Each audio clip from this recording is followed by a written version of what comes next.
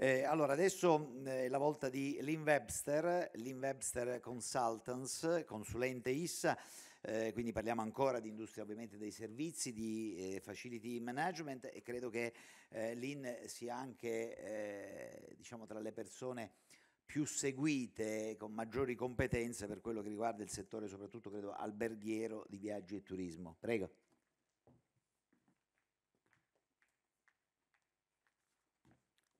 Good afternoon, and firstly, thank you to Tony for inviting me here today. It's been a real uh, experience. Thank you. Yeah, I'm a little bit taller than Michelle. thank you very much. I, first want, before I go into my presentation, is to draw on a memory from the earlier experience today. And we've talked about the key worker um, relationship that cleaners have had through the pandemic. We talked about the fact that they were recognised uh, for their skills and their saving graces in many, many experiences. But as both Laura and Michelle have alluded to, we seem to have some very short memories when it comes to the work that they did. And I just want to take a moment today because I'm not sure if everybody in the room is aware. Today is the global Thank Your Cleaner Day. And perhaps we should all reflect a little bit about saying thank you to those operatives that make our life a lot cleaner, a lot healthier, and a lot safer. So I think perhaps before we leave today, it's maybe finding the janitor, the housekeeper, and just saying thank you, because actually they've kept our world a lot cleaner for the last two days we've been here today. So I want to focus my presentation particularly on recruitment because the pandemic and this new normal that we're talking about and we've alluded to that we don't really understand at this stage has actually focused us all very much more on the labour market that we're experiencing. And for those of you who don't prescribe to European Cleaning Journal, in June of this year, there was a, a very insightful article, and it was very much titled The Great Resignation. And I'm sure each of you in each of your businesses will focus a little bit on those that you have lost for various reasons over the last few years. But we're actually facing the fact that everybody has a different emphasis on their work life balance. And the fact that perhaps you've lost people that were on furlough or, or were ill during the pandemic who haven't returned, and we've lost a great deal of skill from each part and each sector of our industry through that great resignation. So I feel that recruitment, particularly therefore, is going to be the greatest challenge for both colleagues and our clients. But there's also the fact that in cleaning particularly, we have become an almost aging population. We are certainly focused more on the fact that what we're going to do when people are leaving, have we got the succession planning in place for those people, those skills that whole population of our workforce that we're probably going to be losing anytime soon. They effectively would have been known as the Generation X. And we're now looking at the people that are occupying the facilities that Laura alluded to. Perhaps these people the millennials that are probably the title given to another generation of those probably born between the early 80s and the mid 90s.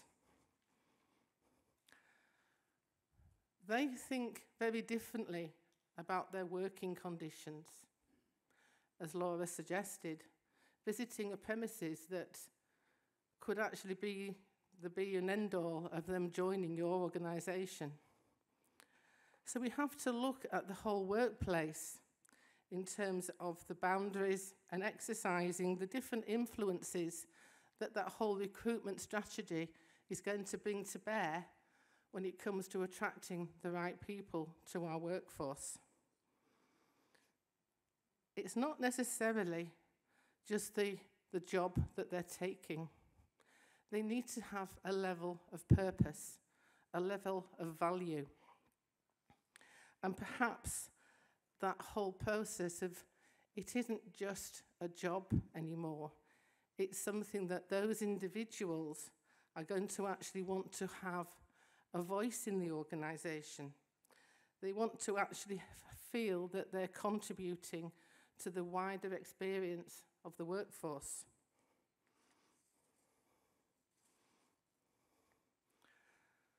So perhaps we need to then start looking in all sorts of positions in the company. We focus particularly in my industry on the, cleaner, the cleaners themselves, but this whole process does apply to all different positions in the organisation. And it's making the effort for the workforce to have that sense of purpose and hopefully giving them the return and experience and providing you with a higher retention and pride and endorsement for your team But then we actually have the new Gen Zs, the people who are out there who were probably born around the millennium and onwards. They have a completely different outlook on work and what work means to them. We've talked a little bit, and other people have raised the fact that it isn't work as a job, it's work as an activity. And this level of hybrid work that we have, these hybrids of whether we work from a home environment, whether we come into a workspace to carry out some of our functions, doesn't necessarily apply to the unfortunate cleaning operative who really isn't in a position to work from home. However, we do have within the expectations of this whole workforce the fact that they raise a completely different argument because what they're doing is coming to the job interview and actually saying to you as the future potential employer, what are you going to do to make me come and work for you? Now, that whole concept is something very, very different that perhaps we haven't experienced before, particularly in the integrated services that we deal with, we would actually expect somebody to come and want to work for us. And this whole new mindset is very, very different. So we have to perhaps make this more commonplace when we start to attract the right people to our environments, into our workforce. It almost feels that we're pampering to the employees.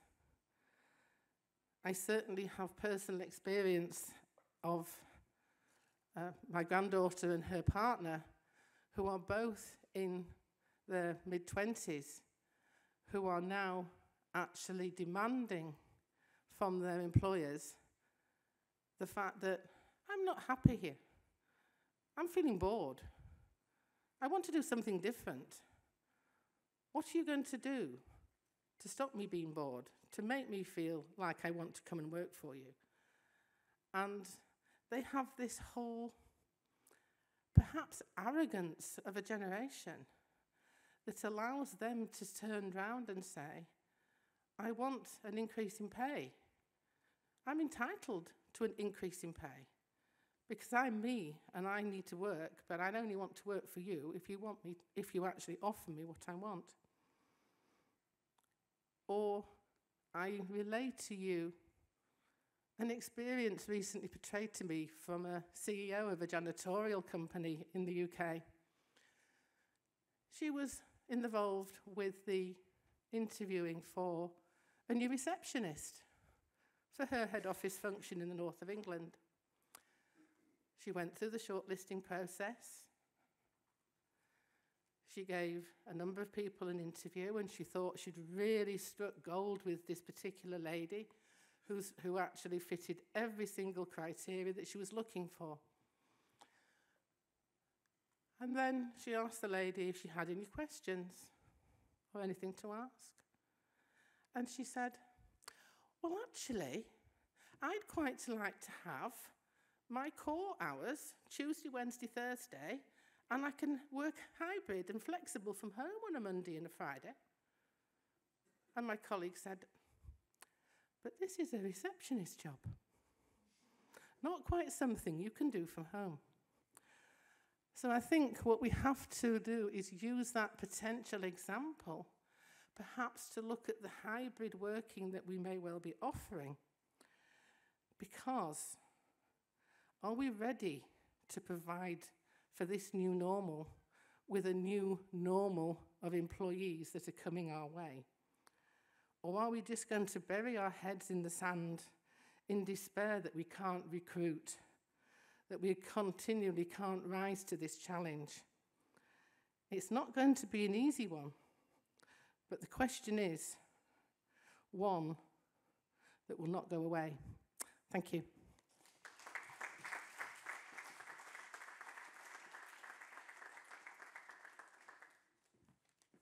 Grazie, grazie anche per questo eh, intervento di Lynn Webster. Eh, pensavo, mi faceva pensare no, quando si citavano anche gli addetti alle pulizie, che evidentemente è un lavoro che non è proponibile da remoto, diciamo, eh, e io per eh, il, il, lavoro che faccio sono moltissimi anni, avendo fatto per lunghissimi anni, lo faccio tuttora, eh, il lavoro, svolgendo il mio lavoro molto presto la mattina, che mi imbatto negli addetti alle pulizie, no?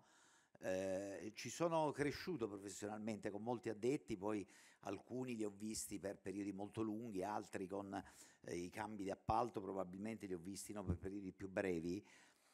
E, e, devo dire che uno pure per esempio nella composizione dei prodotti che usano, no? nel carrello che si usano, uno ha visto i cambiamenti, eh, li ha visti anche a livello proprio olfattivo, si usavano, eh, vi parlo di differenze tra vent'anni fa e oggi ovviamente, e, e, e quindi ho molto, eh, come dire, ho preso confidenza, ho solidarizzato molto con queste persone che all'alba devono pulire eh, uffici, sedi varie.